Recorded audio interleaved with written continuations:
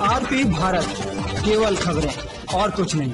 नमस्कार मैं हूँ अंजलि। आरपी भारत में आपका स्वागत करती हूँ। तो चले चलते हैं आज की किसी मुख्य खबर की ओर। पूर्व घोषित कार्यक्रम के तहत आज पूरे देश में संयुक्त ट्रेड यूनियन एवं संयुक्त किसान मोर्चा द्वारा संयुक्त रूप से मोदी सरकार के द्वारा लाए गए निजीकरण के विरोध में आंदोलन के तहत आज 15 मार्च को शाम चार बजे जामताड़ा ज़िले के कुंडहित प्रखंड के अखिल भारतीय किसान सभा, कुंडहित ओकल कमेटी द्वारा आयोजित अंबा गाँव की पूर्वी टोला में कामरेड सुकुमार बावरी के नेतृत्व में एक निजीकरण विरोधी सभा का आयोजन किया गया, जिसमें लोकल कमेटी के सचिव कामरेड सुकुमार बावरी ने जमकर केंद्र सरकार के निजीकरण के खिलाफ अपनी बातों को रखा उपस्थित पार्टी किसान एवं मजदूर साथियों के द्वारा जमकर केंद्र सरकार की मजदूर विरोधी, किसान विरोधी महँगाई बढ़ाने वाली नीति के खिलाफ नारेबाजी भी की।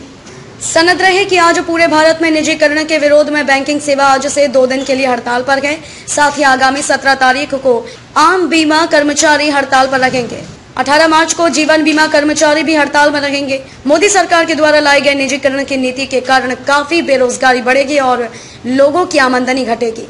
बाज़ार में सामानों की खरीदारी घटेगी।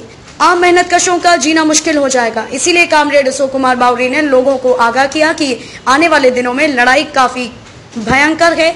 मोदी सरकार की जन विरोधी नीतियों के खिलाफ लोगों को खुलकर सड़क पर उतरने की ज़रूरत है।